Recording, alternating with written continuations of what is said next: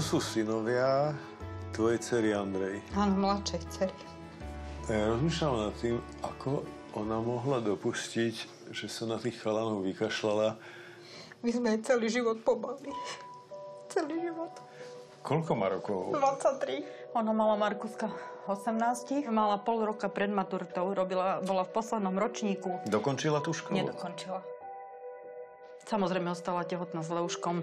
Ona potom e, žila ešte s otcom chlapcov? Oni boli krátko, ešte Leuško sa narodil asi pol roka, oni už dlhšie spolu neboli. On keď sa dozvedel, že ona je tehotná už s Markuskom, oni už boli rozidení. Oni sa dali dokopy len spátky kvôli tomu, že teda zistil, že je tehotná. Povedz mi, keď sa s ním rozišla, potešila si sa či nie? Padol mi kamen zo srdca veľko. V istom zmysle teda by sa očakávalo, že tam sa problémy Andrej skončia. Nie len, že sa problémy neskončili, ale začali naberať Obrátky. Veľké. Dala sa dokopy s Olaským Rómom. Jej terajší priateľ navrhol, aby šla bývať kým do Vinodolu. No a stalo sa to, že išli sme si zobrať chlapcov, to bolo cez leto. Ja som išla dať chlapcom obed a on, Markusko mi hovorí, že babka, ľubíš nás? Hovorím, áno, veľmi vás ľúbim. Ja ti musím volať, čo povedať. Hovorím, a čo mi musíš povedať? Že babka, vieš, nás Flanko veľmi bije. To bol ten olašský priateľ. Áno. No a ja samozrejme prvé, čo bolo, som ich nechala taký tila telefón, volala som jej, lebo sme boli... si. Čo ti povedala Andrea na Že to toto? on, on ostal, on na mňa vybuchol, akože skríkol na mňa, že on im nič nerobí, že prečo im nedôverujem. A on stále útočil, že aké by som ja bola rasistka, že len za to, že on je cigáň. A hovorím, Čo, počúvaj čo tebe ma. nešlo? Ty si nemala problém s tým, Hovorím, že... počúvaj, môj švagor je cigán, Vilko. A Andrea ako reagovala? To není pravda. Že oni si vymýšľajú, lebo že dlho bola teda s nimi sama. Ty si čo myslíš, prikryla ho? Zatajila Ja to? si myslím, alebo... že ona ho taj, ona to tají.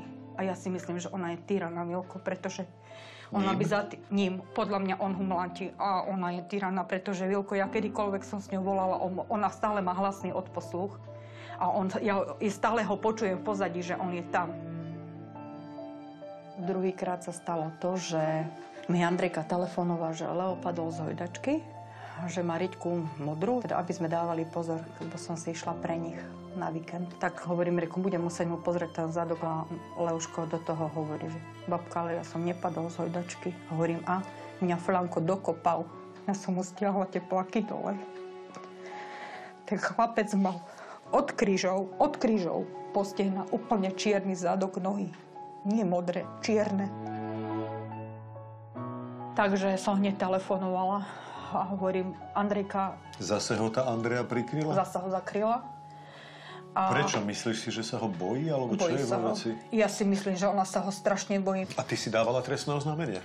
Uh, trestné oznámenie najskôr podávala moja netier a potom som podávala ja. Polícia to šetrila. Áno. O týchto dôkazoch vedela tá polícia, že Áno. takéto bitky Áno, modriny... ja som bola na výsluchu, Vilko, ja som tam bola 4 hodiny na výsluchu. Ja som im všetko rozpovedala, všetko.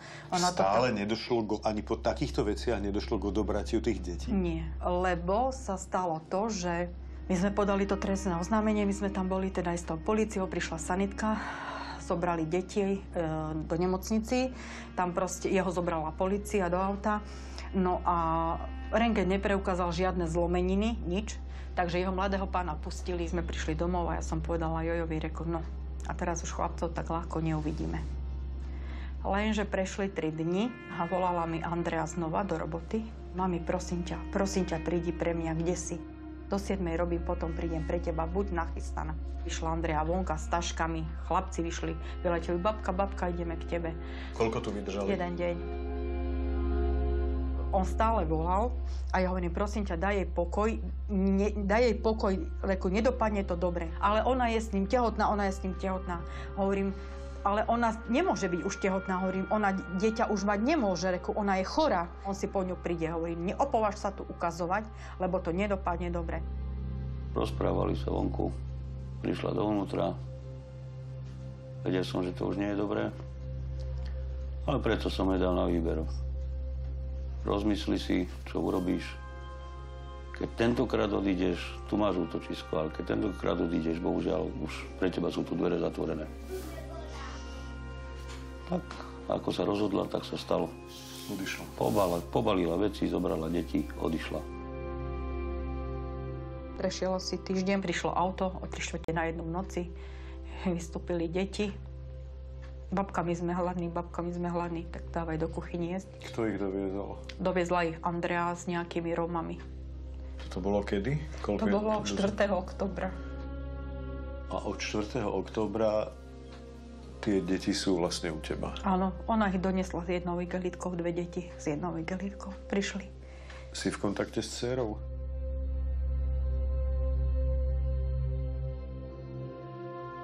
Volala na štedrý deň. Vilko, ja na ňu kontakt nemám a ona keď volá, tak volá len z utajeného čísla. Ty sa o ňu začínaš bať? Ja sa o ňu veľmi bojím, Vilko, pretože ona není v poriadku. Ja mám to už tak istá, že raz mi len príde, príde pri bránu nejaký policaj a zazvoní a povie mi, že ju našli volanie pri kontajneri do bytu a nedaj Bože ešte mŕtvu.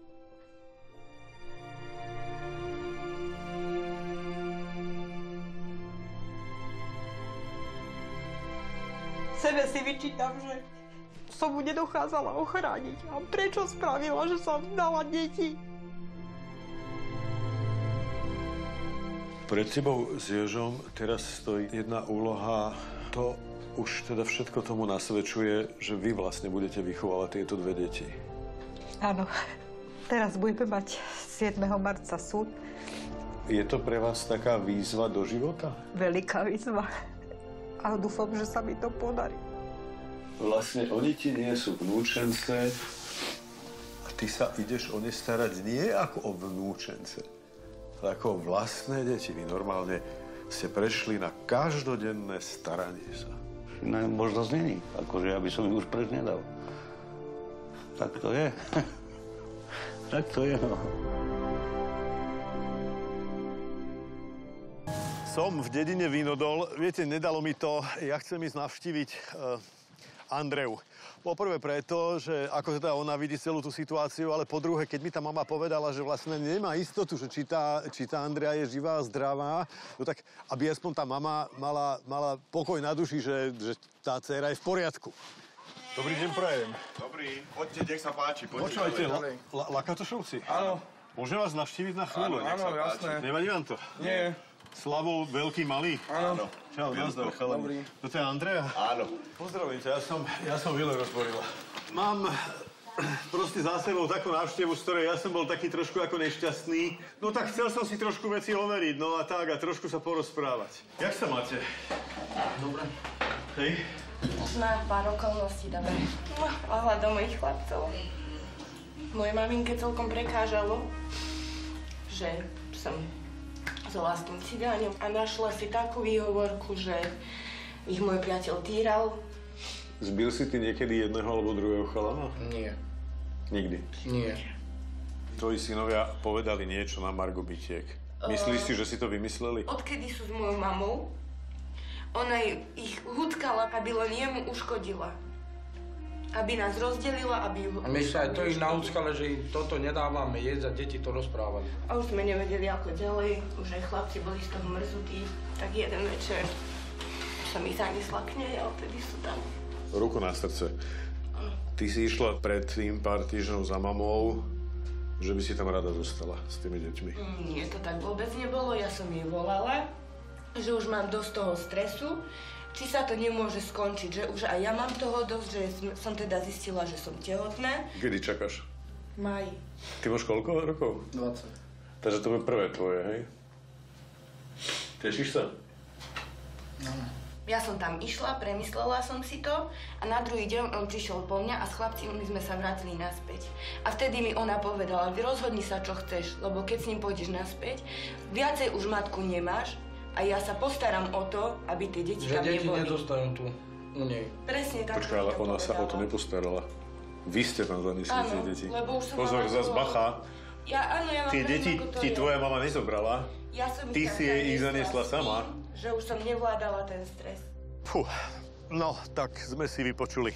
Pozrite sa, e, takto.